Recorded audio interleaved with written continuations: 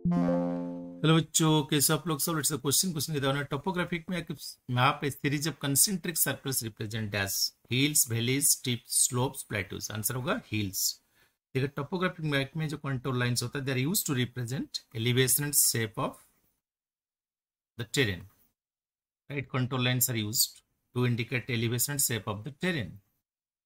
Okay? So, closed lines forming concentric circle. Okay? Series of concentric circles they represent hills. Okay series of concentric circles they represent hills.